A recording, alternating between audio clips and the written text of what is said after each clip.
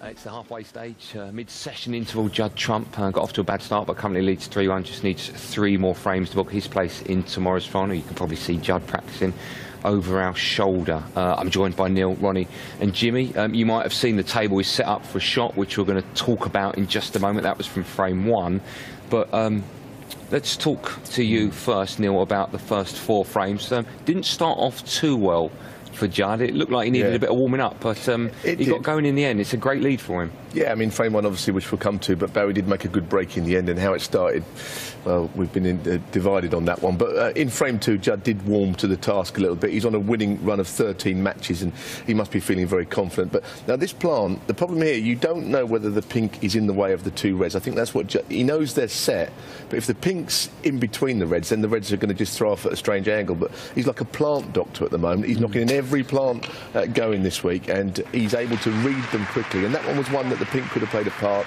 because he, he's knocked it in, and he's great at creating opportunities. So once the pink didn't move, it wasn't in the way. And it was basically frame over. And this is a ready pot. The frame's done just about uh, 36 in it. He really wants this red, but this is the, the sort of the clean potting that he's capable of. I mean, there's no way in the world that's an easy shot. You can't even see the pocket.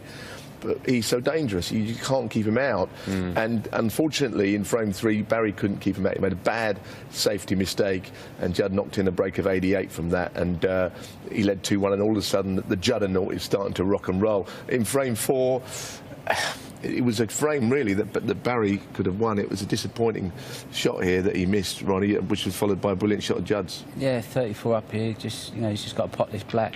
You can't miss this black and go into the reds. And um, yeah, it's just fatal, especially in the semi-finals, the stage of the tournament, playing Judd. You know, you've really got to be nailing them opportunities. And he's had a few early in the match.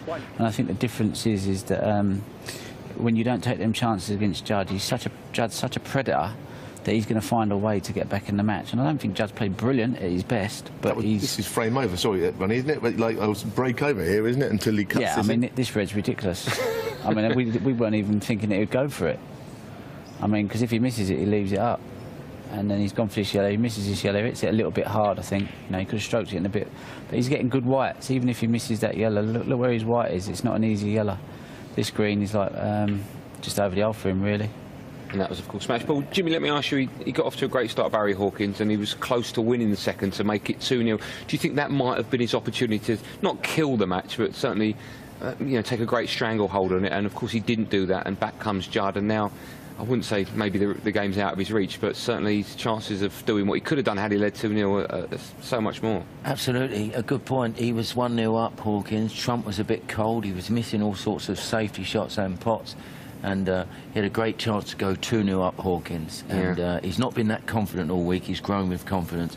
But to be 3 1 down when you should have been uh, 2 0 up and missing balls like after Yeah. spot against Trump, you're in big trouble. Okay, there was one moment um, in the first frame that's divided the four of us. Me and Jimmy think one thing, and Ronnie and Neil think the other. This is the shot. So, Neil, I'll let you take over and you explain what's happened. Okay. Well, look, he, he sizes. What's he doing here? This is a thing. What's he looking at? And is he looking at knocking the red in off the pink?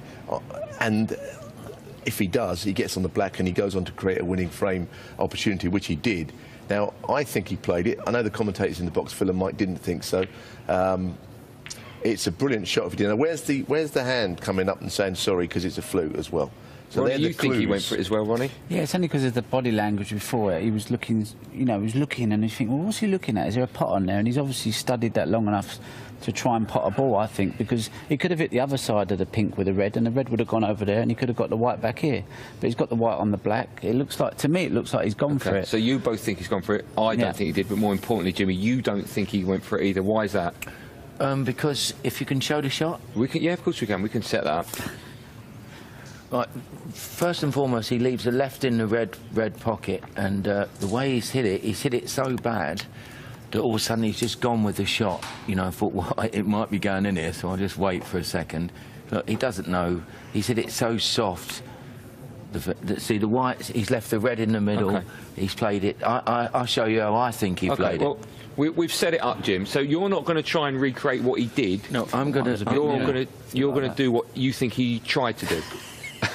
It was a bit nearer. Well, yeah, but I can't. You've just made it like and the it in the end. What's happening? Okay. So, Jimmy, you're playing what you think he should have played or he was going to play. is that What right? I- this is what I think he played. Okay. Right.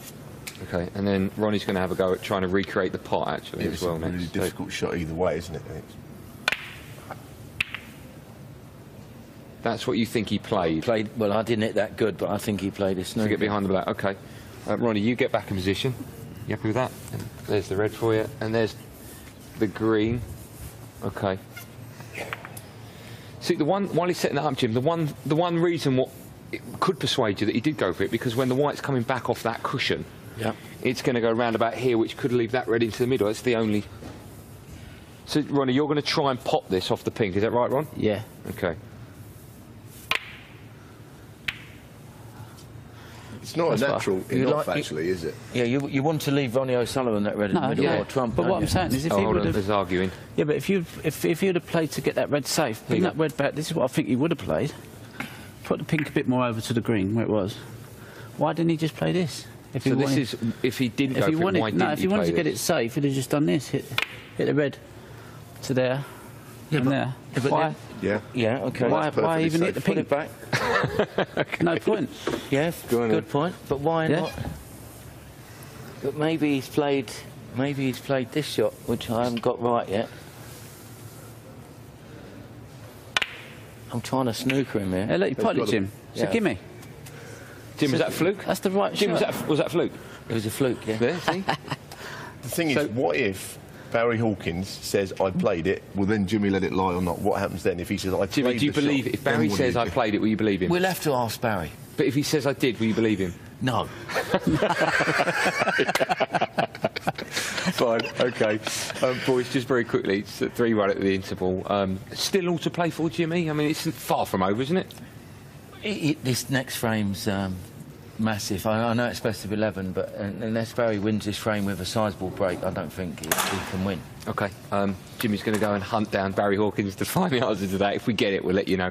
Uh, join us in just a moment, of course, for the finale of our first semi final. We will see you in a moment.